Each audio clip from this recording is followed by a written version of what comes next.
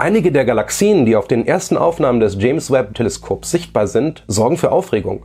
Sie dürften, so heißt es laut einer Reihe von Astrophysikern, überhaupt gar nicht existieren.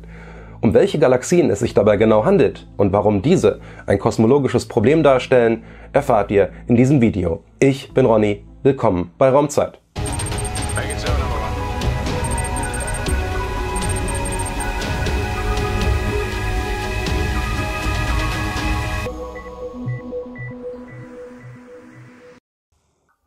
Ich habe bereits gestern Abend auf Twitter auf den neuen Aufsatz in Nature hingewiesen, der seit Mittwoch vorliegt und noch nicht hinter der Paywall verschwunden ist.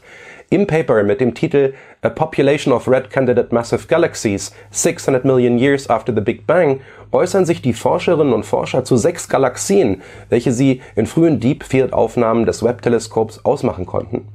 Die Aufnahmen entstanden mit Webbs Nahinfrarotkamera NIRCam. Bei diesen Galaxien handelt es sich dem Team zufolge um große Galaxien, deren Massen auf bis zu 50 Milliarden Sterne geschätzt werden.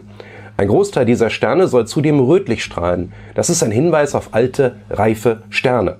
Die erste Analyse der Bilder mit Hilfe von photometrischem Redshift ergab auch Schätzungen für das Alter dieser Galaxien. Sie stammen aus der frühesten Phase unseres Universums. Mit einem vermuteten Alter von 13,1 bis 13,3 Milliarden Jahren existierten sie bereits 500 bis 700 Millionen Jahre nach dem Big Bang. Wir erwarteten zwar Galaxien in dieser Epoche, diese allerdings sollten grundsätzlich anders beschaffen sein, nach allen kosmologischen Modellen, und diese waren bereits durch das Hubble-Teleskop und andere Instrumente bestätigt worden, vermutete man junge, eher kleine Galaxien. Diese sollten vor allem ebenso junge, blau strahlende Sterne aufweisen. Wer mal ans Fenster gehen will. Jetzt im Winter sieht man im Süden sehr schön den Orion. Unten links ist ein blauer Riese zu sehen, Riegel. Dieser ist bläulich. Oben links im Orion hingegen ist der rote Superriese Betelgeuse deutlich rötlich auszumachen. Das soll aber nur mal die Färbung verdeutlichen. Im Fall des Orion sind Riegel und Betelgeuse etwa gleich alt. Generell aber gilt, wenn die Mehrheit der Sterne einer Galaxie rötlich strahlt, dann ist das eine bereits alte Galaxie, deren Sterne bereits viel ihres Materials fusioniert haben und abkühlen. Junge Galaxien, die eben erst dem kosmischen Chaos entsprungen sind, die ständig neue Sterne und Strukturen bilden, diese müssten verhältnismäßig klein sein und bläulich erscheinen. Man kennt ähnliche Galaxien lokal auch unter dem Begriff Green Pea Galaxy. Es ist tatsächlich so, dass die schiere Größe der Galaxien zu diesem Zeitpunkt ein Problem für die aktuellen Galaxienentstehungsmodelle darstellen würde. Dass der Aufsatz vermutlich dennoch zunächst keine höheren Wellen schlagen wird, liegt an der Messmethode.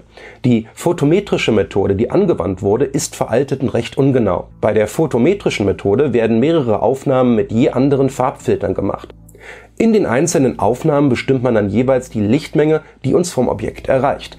So lässt sich auf seine Rotverschiebung schließen. Diese an sich veraltete Methode feierte ab etwa dem Jahr 2000 ein Comeback. Denn im Gegensatz zur moderneren spektroskopischen Methode verlangt sie nicht viel Teleskopzeit.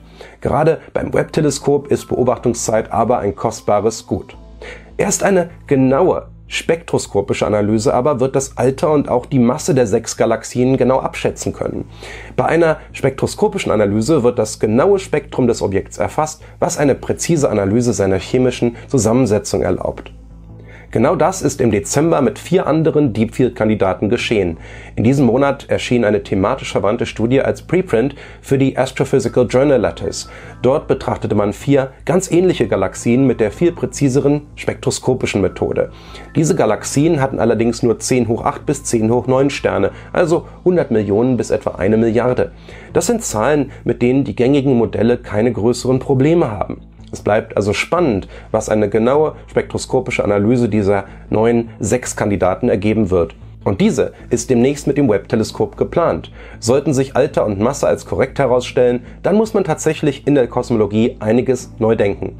So, ich bin froh, dass ich für heute nicht noch einmal spektroskopisch sagen muss. Das ist sowohl für das Mikro als auch für den Mensch dahinter nämlich Schwerstarbeit.